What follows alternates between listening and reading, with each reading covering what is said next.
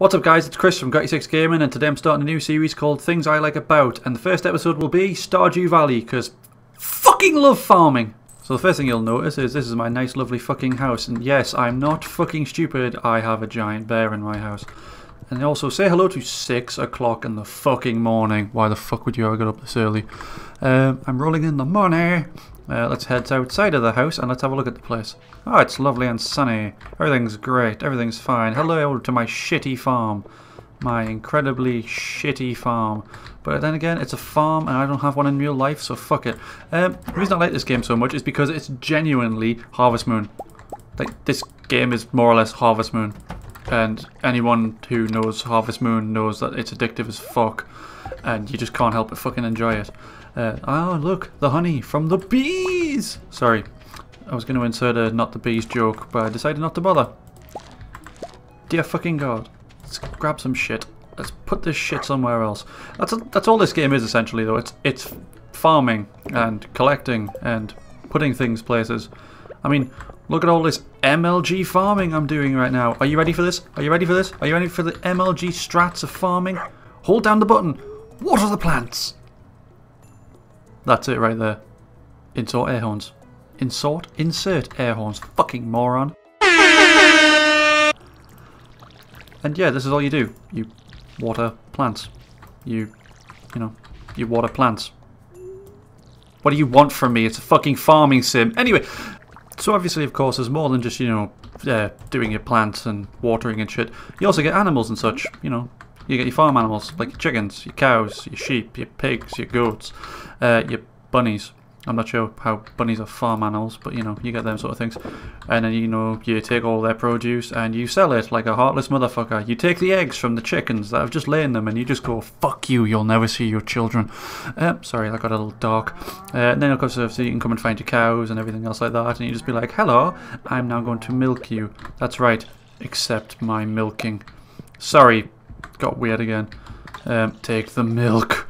Um, yeah, sorry, I'm being weird today. Yeah, I, I just got told that um, apparently the phone that I ordered uh, I can't have because my address on my ID doesn't match where I live now. So I'm without a phone for at least another, you know, month and a half, which is fucking bullshit. Sorry, I don't know why I'm talking about that. I shouldn't be talking about that. I should be talking about this game, Stardew Valley. Stardew, the game where you can do almost as many things as you could possibly think about. You know, yeah, get some more water. Um, you know, you get to explore and such as well. You don't just have to stay on your farm. There is things that you can do out in the wilderness. You can go along, you can just be a complete another weirdo and chop down trees while children watch in the background. That's right. I'm going to deforest this place. And then you can't go hide in the forest. But then people might find the bodies. Sorry. Um, but there is other things that you can do in this game as well, obviously. Uh, there is a town where you can go and you can spend your hard-earned money, because as you can see, I am fucking rolling in the dough. Sorry. Uh, that's a rival farm. Fuck 'em. My farm's better. That's right. You heard me. Sorry. Uh, but yeah, you know, it's a nice town full of other different people other different people. What the fuck is that sentence, Chris? Um, you know, you can come to town, you can meet all the nice, friendly people. Hello, old woman. I'll be baking cookies today. I like to make flower shapes in the spring. The fuck is your problem? Sorry. Uh, there's the saloon where you can go and get wasted. Well, I wish. Uh, this is the town mayor. He's a strange man. There is genuinely a mission where you have to go find his underwear, which is somewhere in the town. I'm not even joking. Uh, say hello to the shop where you come to buy your stuff because where else do you buy shit? You know, it's like just general things, you know, seeds, grass starting kits, and then you get certain different items, fertilizers, all that sort of stuff, things to decorate your house. And then obviously trees. Trees are where the money's at. Trees are fucking great because once you plant it, that bitch will make you money non-stop in that certain month. The rest of the year it's fucking useless and it takes up space. Anyway, um, you know, we continue along the way. Uh, you can just see the lovely, the lovely surroundings, and this is the community centre, which is kind of like a, it's an objective to work towards because there's these little creatures that are called the insert whatever the fuck they're called right here. I'll put it on top of the screen right now like this. Oh, look at that movie magic. Um, it's these weird little things, and you just bring different items, and you know you drop them off, and then you'll get pr uh, prizes for completing each bundle, and then you get a certain like large prize for completing a certain bundle. Like I finished this one, and therefore the room gets repaired and things get done to it, and you know it's nice, happy looking place now. It's not as shit. Obviously, that tells you how many things you've done. So as you can see, I've only got two more to go because I am fucking MLG. Insert air horns. Thank you. Um, it's not the only thing there is that you can do in this game though. There is also the mines.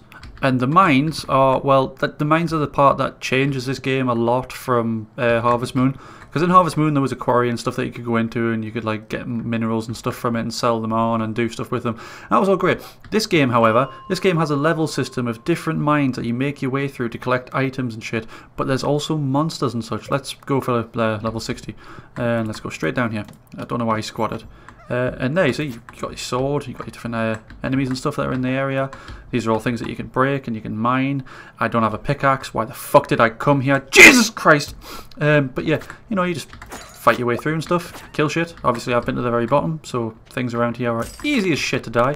And I don't have a mine uh, pick, sorry, so I can't get any further. So coming here was fucking useless. So anyway, we'll uh, leave the mine. But yeah, um, the mine is essentially it's just it's a nice way to earn extra money when you're not farming because it's something to work towards again as well. You know, you get achievements for it and stuff if you're bothered about achievements. If you're like what I used to be like when I was a kid and I played Xbox and I was all I have to get every achievement, and nowadays I'm like, oh fucking effort, you know. But that can't be helped. But uh, apart from that though, there is also the amazingness that is MLG fishing. And I'm not joking when I say this is MLG fishing. I mean, are you ready for this? Are you ready for the greatest experience of your life? This is the best thing about this game, I'm not joking. Hold the button, throw the reel, get ready to fish.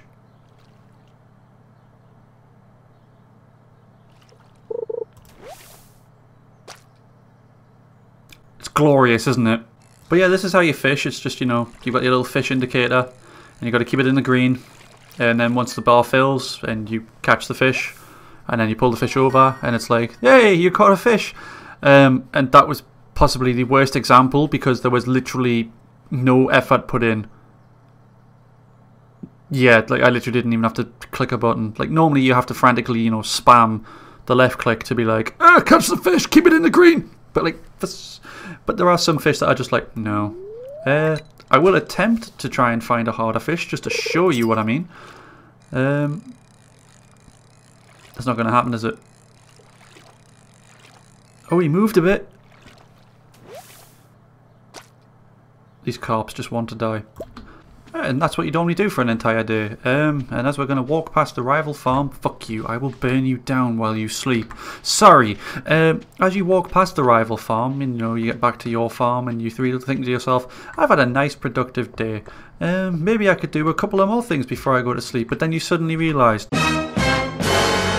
you know, there's a distinct lack of energy. Yeah, the energy system in this game is essentially every action you make in majority of senses will cost energy and that energy will mean that you can't you know continue to do things because if you continue to keep acting along while you have zero energy you will eventually get to a point where the game will just go you're fucking knackered and you will slow down to a fucking snail's pace you will not be able to barely do anything and if you continue doing it you'll just pass out and passing out in this game is not very fun because you will lose some money. Uh, if you do it in the mines, you'll not only lose money, you'll lose progress in the mines, and you'll even lose a couple of items. Holy shit, that honey. Holy fucking shit, that was just like very well timed. I'm gonna rake in some fucking money from this one, then I can put that other farm out of fucking bit, sorry. Uh, scarecrows are quite cool as well. It's a nice little change from the original sort of like Harvest Moon thing. Uh, if you don't have scarecrows, crows will actually come along and eat your crops. Because those motherfuckers are like that. Um, so yeah, don't forget scarecrows don't forget scarecrows. Uh, and then obviously, uh, I should point out, when it gets to about 12 o'clock, you'll see that the timer has gone red. That means within the next two hours, if you do not get to bed, you're going to pass out. Uh, it doesn't matter regardless if your energy is low, full, whatever. You will pass out unless you get to bed. Uh, this is the house, obviously. I didn't really explain it much before, but you know, I've upgraded my house, so it's bigger than just this tiny square that it originally starts as. You actually have a bedroom now. Uh, you've got a kitchen uh, where you can prepare your meals, cook stuff, you know, fried eggs, omelets, sort of, you know, kind of useful things. It helps to increase energy and health, which you will lose when you're in the mines because it's the mines. You got your TV where you can watch stuff and it'll teach you things that you didn't know about in the future, uh, in the past. I don't know why I would know not something in the future. Christ, what the hell are the words escaping from my mouth right now? You're a fucking idiot, Chris. Kill yourself. So yeah, you know, you'll learn daft stuff like that. Uh, this is your faithful dog, or cat, depending on which one you pick at the beginning of the game. Uh, and then you come to bed in your nice lovely house, in your double bed, by yourself, because I spent the entire first year of this game not talking to anyone, just farming non-stop, and now I'm all alone and I don't have anyone. Sorry. And that's why I like Stardew Valley. Because you can't help but love this game. There's nothing about this game that I can particularly say that I don't like. I like more or less everything about this game, except the fact that I'm alone and miserable. Sorry. Um, so yeah, I totally recommend Harvest Moon. I mean Stardew Valley. I mean, yeah, that one. Good night, everyone.